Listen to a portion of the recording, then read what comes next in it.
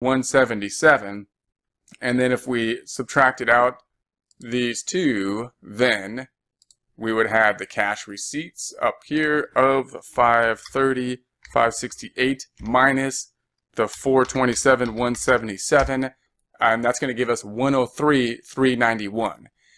Now I'm going to make another assumption that we commonly do in, in a problem, commonly do in practice, and that's going to be that we want to maintain a minimum balance of 40,000. That's going to be an assumption that we're going to make in this particular problem.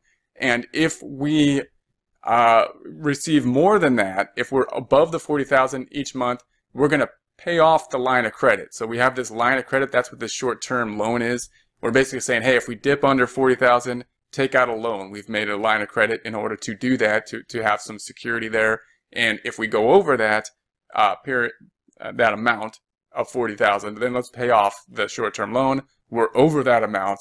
We're going to pay off the short-term loan, 12,000. And then if we uh, calculate our ending balance, we then have the 530, 568 minus the 427, 177 minus the 12,000. And we have the 91 uh, 391 now. Okay, so that 91 391 is the ending balance of July, which will be the beginning balance of August. That's where we're going to start in August.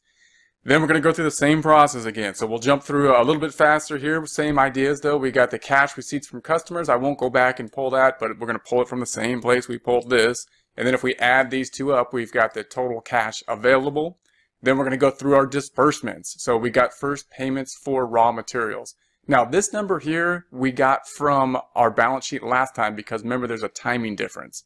This time we're going to have to bounce back to our raw materials because even though we are in August, remember the assumption is that in a cash flow, we're going to, we're going to, all the purchases we made in July, we're going to pay for in August. So uh, that's why this number here is what we're going to pay for in August, and we have to jump back here and pull that number. So just uh, be careful there that we're always kind of a month off here because we're talking about cash flow, which is different than purchases when we purchased it. All the rest of it's going to be the same. So same. This is coming from the same area. We have to jump back. Same area. We have to jump back and pull these same numbers out. So same process in these items here.